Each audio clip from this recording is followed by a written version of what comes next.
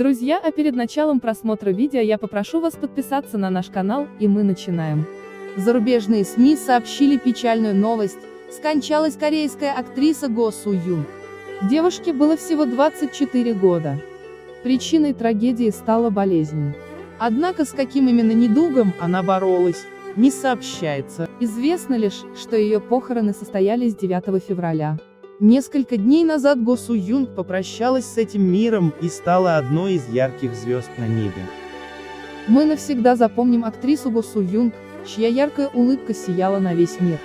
«Покойся с миром», говорится в заявлении актерского агентства Story J Company.